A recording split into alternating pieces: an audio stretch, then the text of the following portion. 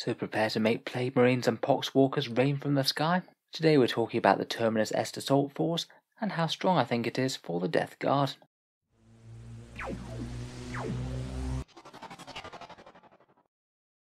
Hello and welcome back to Auspex Tactics, the strategy focused 40k channel, where we're all about getting the most out of our miniatures on the tabletop. In this video we're taking a look at the army of renown known as the Terminus Est Assault Force, basically the Death Guard infantry only army where you can deep strike and they have a bunch of other options. We'll look at its restrictions and the Outbreak Assault special rule, then the Warlord traits, stratagems, psychic powers and relics, and then finish up by talking about whether I think it's worth the trade-off. Lots to talk about here, so let's jump straight into it. So the Terminus Est Assault Force is one of those new armies of renown from Warzone Charadon, the Book of Rust. You need to be all Death Guard, no mixing and matching, though generally pure Death Guard is the way to go anyway if you want those contagions.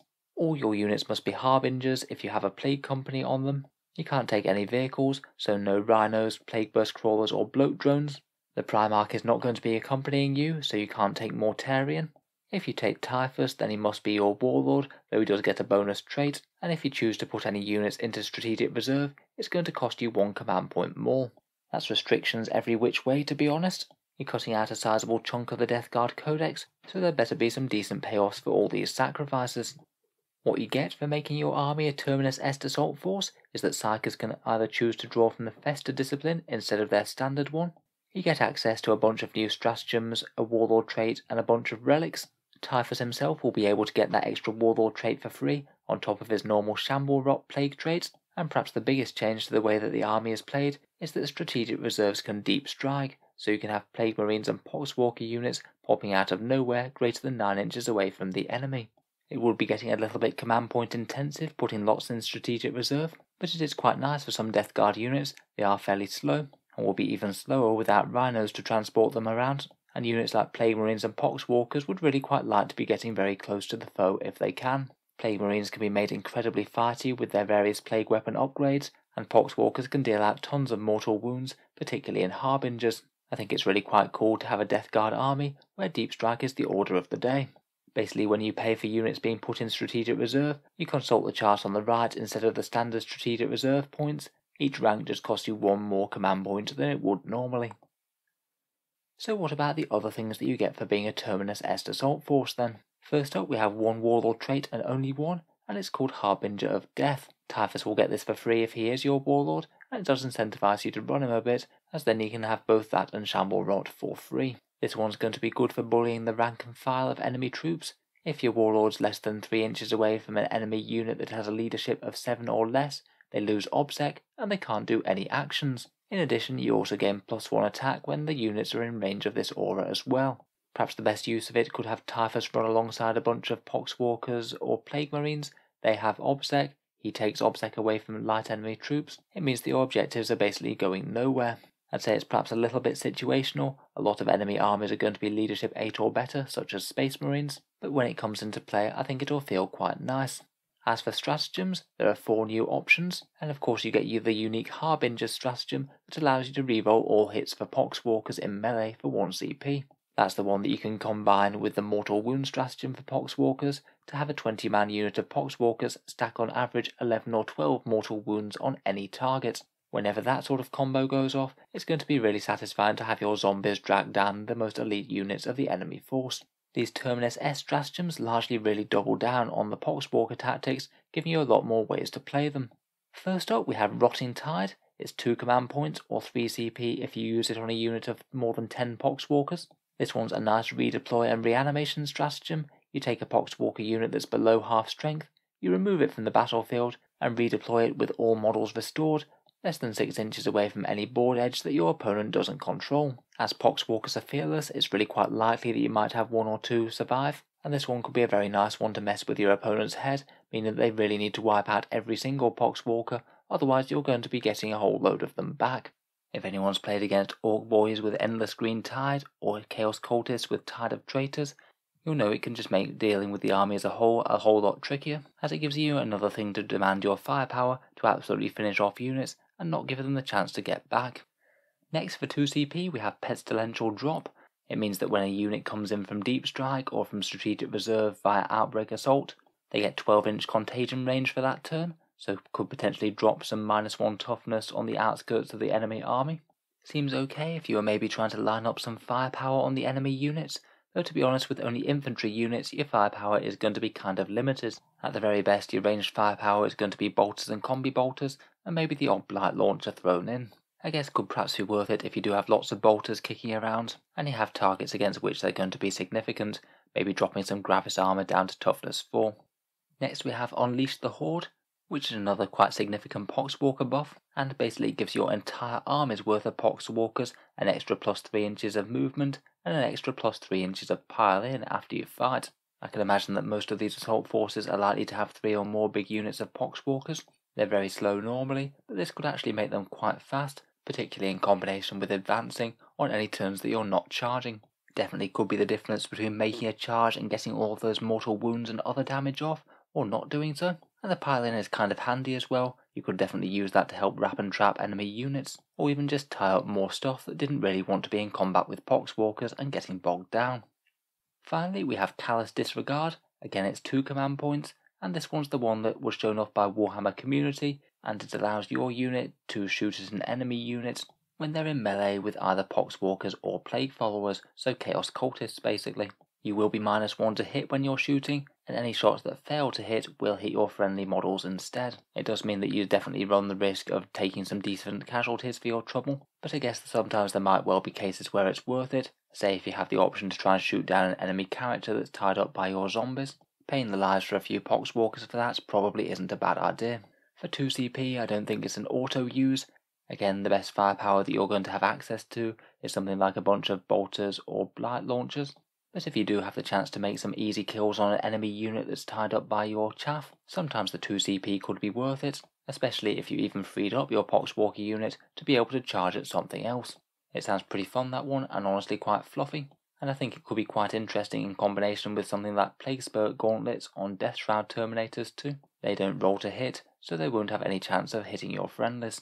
Overall, I think that the stratagems are one of the strongest parts of this whole formation. That Rotting Tide is excellent, it's hard to argue with turning command points into even more chaff and getting extra mobility thrown into it as well. Pestilential Drop could be handy against some things, Unleash the Horde could get you more charges and get most of your army moving forward faster, and Callous Disregard could be a nice situational one that you can always have as an option in the back of your mind as combats unfold. Moving on, let's take a look at the Fester discipline. We do have a full six spells here, and some of them are very interesting indeed. They will have to be decent though, as they are competing against some very good powers from the core codex. Gifted Infection is Warp Charge 7, 18 inch range, and gives minus 1 toughness.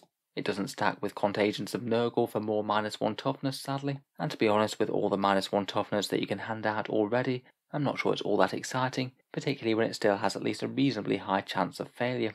Next up we have Lung Rot, again Warp Charge 7, and it's a debuff at 18 inches. We saw this one previewed, the unit can't advance, it can only declare charges against targets that are within 6 inch range, not 12, and if they happen to fail a charge at this short range, then they can't re-roll the result of that charge either. This one's really quite a powerful and nasty debuff, it basically just takes one enemy unit that wants to be in melee, and makes that melee very unlikely to happen indeed. Units like Blade Guard veterans or any Space Marine White Scars are really not going to thank you for this one. Next we have Pernicious Dose, again Warp Charge 7, and this buffs one unit within 6 inches to reroll all hit rolls with plague weapons. This one's a pretty powerful buff. It could be pretty nice on Blightlord Terminators with Bale Swords or Bubonic Axes, or maybe even a big tooled up melee Plague Marine unit. You could use it for some very accurate shooting with virulent rounds from a big unit of bolters, and I think it could be particularly fun when stacked with the Arch Contaminator Warlord trait, meaning that your plague weapons could get 4 rerolls to hit and 4 rerolls to wound, potentially on an enemy that's already minus 1 toughness. That could be pretty much guaranteeing the death of any one unit. Next we have Noxious Discharge, this one's Warp Charge 6, 12 inch range. The enemy takes 1 mortal wound, and any enemy units within 3 inches also take 1 mortal wound as well. I'd say perhaps the short range is the least helpful thing here. It could be really quite punishing to tightly packed enemy formations, but it does mean that your Psyker really has to expose himself in harm's way, is going to be very close to multiple enemy units, which could mean that he's not very likely to live till the next turn. Even if in the right circumstances this could deal out quite a few mortal wounds, I don't think it's going to be taken very much. Next we have Rotwind for Warp Charge 7, and this one's perhaps one of the ones that interests me the most. You target one enemy unit within 18 inches, and next turn, whenever it makes the attack, all of its weapons will have worse AP by 2 to a minimum of AP 0. Now against an armoured foe such as Death Guard, particularly when you have Terminators and Plague Marines in the mix, getting rid of the vast majority of the enemy's AP is a really powerful debuff, and you could have really threatening units become completely less so.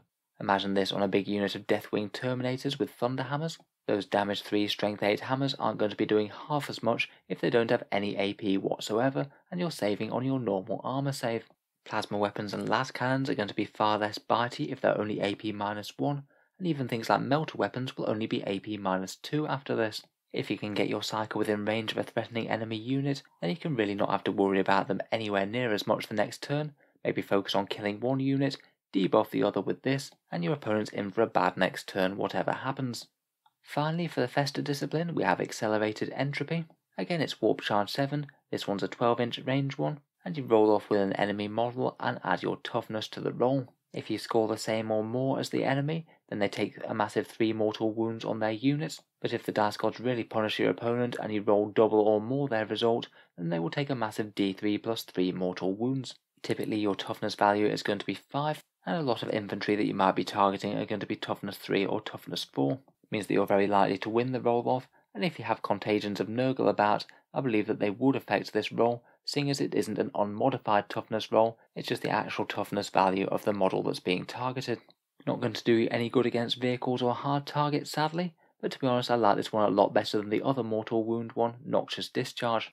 Overall, for the Fester discipline though, I think my favourite is the Rot Wind spell, with Lung Rot and Pernicious Dose both being pretty powerful, and Accelerate Entropy being an interesting choice for a bunch of mortal wounds. Last up, we have really quite a good relic pool for the Terminus Est, with a fitting number of 7 different relics to choose from. Filth Censors gives you plus 6 inches to psychic power range, and with powerful debuffs such as Lung Rot and Rot Wind available, having 24 inch range on those could be really good you're going to have a lot more choice of what you can target, and you won't have to expose your psychic quite as much to do so. A pretty decent choice in combination with those two, I think. Mark of the Terminus Est is a pretty good all-round fighty character buff. They gain plus one strength, you can't reroll wounds against them, and once per game you get to take one failed save and turn that into an automatic pass. A bit of extra strength is fine, the reroll wounds thing I'm sure will come up occasionally, but I think that once per game ability in the last bit is actually perhaps the most interesting. You could potentially save that for a really quite high damage attack, essentially guaranteeing that your opponent is definitely going to need more damage to take down your character. And overall, I think the combination is fairly strong for just one relic.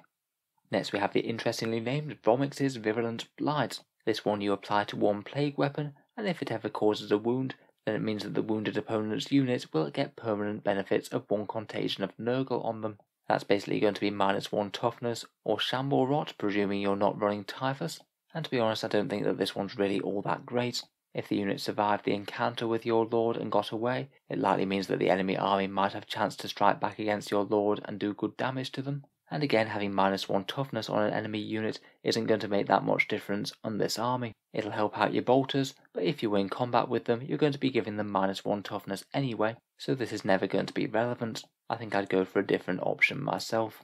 Next up, we have a trio of different boosted weapons, Canker is a plague plasma pistol, 18 inches, strength 8, AP minus 4 and damage 3, and it's a plague weapon that doesn't overheat.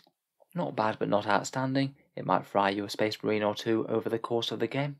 Rock Grip is a slightly boosted power fist or plague claw, it'll be wounding most things on 2s as it's strength times 3, AP minus 3, flat 2 damage, and it's a plague weapon and has no hit penalty unlike normal power fists.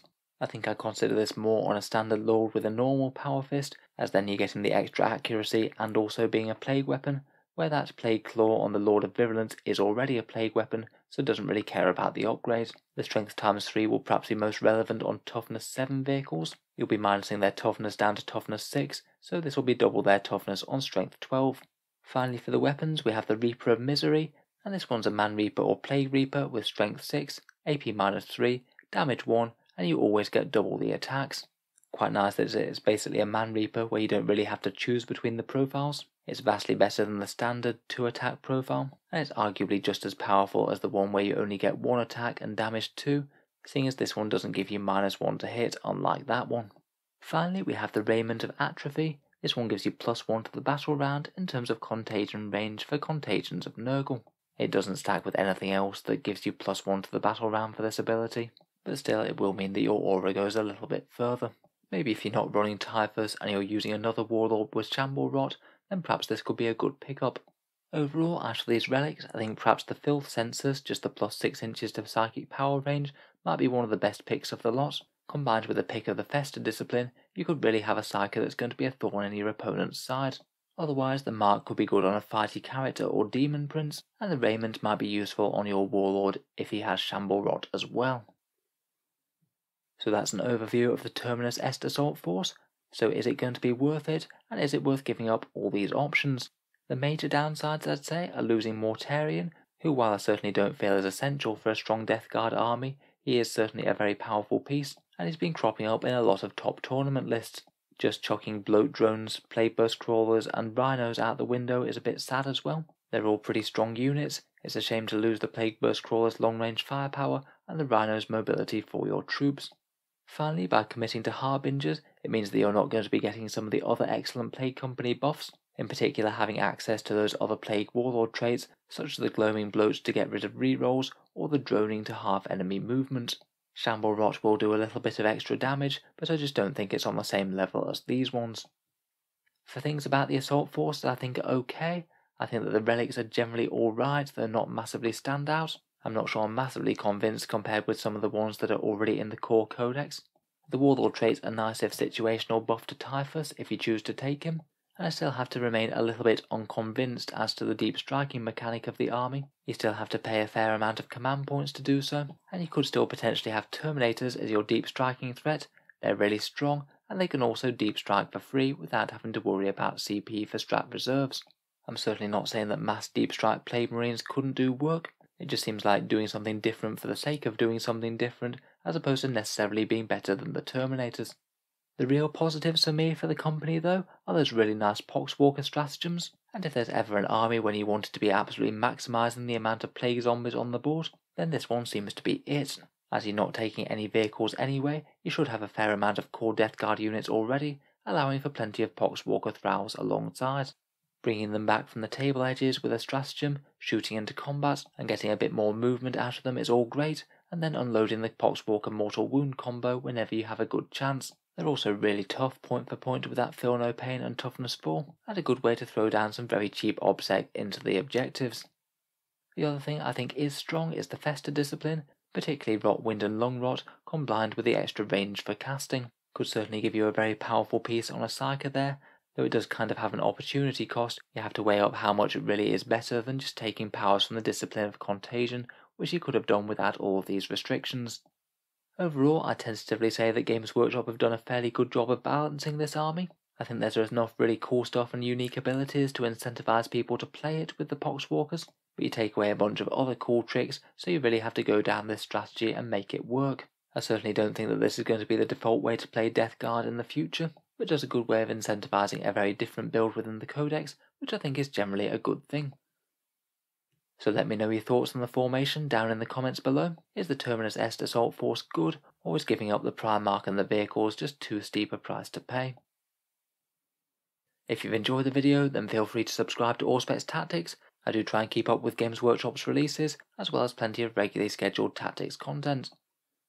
Finally, if you have been enjoying the videos recently and would like to help support the channel, I would just like to mention that I have an Element Games affiliate link down in the video description below. Element Games is a decent UK based discount retailer. They give 10 to 20% off Games Workshop's products, and they've always been very reliable for me. If you click on the link before buying anything from them, a small amount goes to help support Auspex Tactics, and it doesn't cost you any more whatsoever. It can just be a way to help support if you were thinking about buying something anyway. Similarly, for people in the USA and Canada, I do also have an Amazon affiliate link, which again is down in the video description. That one works in basically the exact same way. Click the link, buy anything whatsoever off Amazon, and a small amount goes to help support the channel. A massive thank you to you guys who have been using those links, it does make a big difference. In any case, thank you very much for listening, and I'll hope to see you guys next time.